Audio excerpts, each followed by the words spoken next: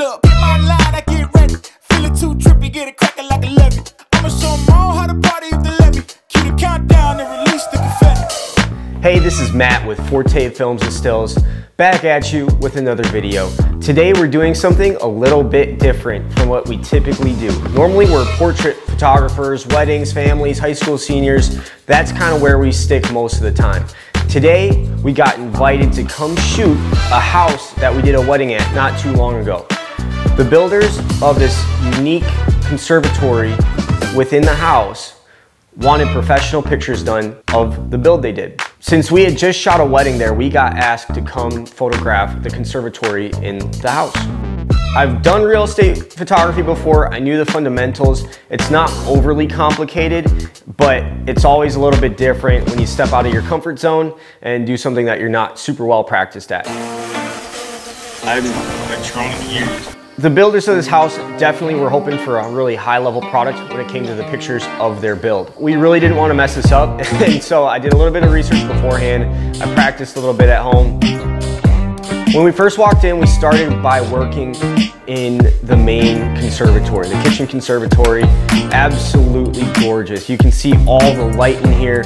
Looks so great. It was bright. And I think one of the things that I liked the most while shooting this is look at the cloud cover. There's really pretty, beautiful clouds going over that you can see in the final image. After that, we moved on to the pool room. Poolside, chilling in the summertime. Cool breeze, blowing and I'm feeling fine. Blue sky, feel the sun saying let it shine.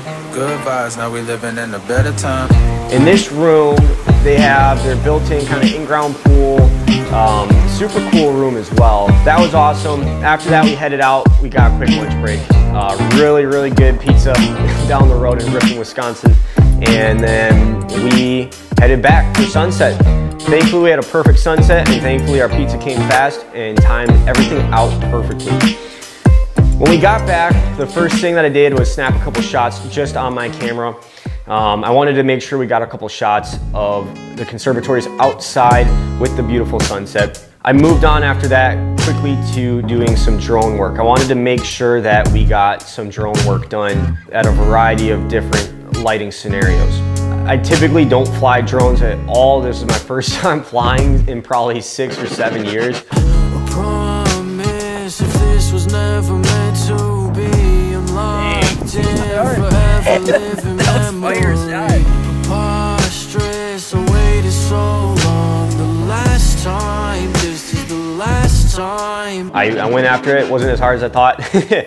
Uh, but it, I think it turned out pretty well. We shot all the way into the dark. The builders wanted some kind of twilight shots where the conservatory was lit up and the rest of the sky was getting dark. Uh, I really like the drone shots of this time of day. That's kind of the wrap, the, the gist of the shoot.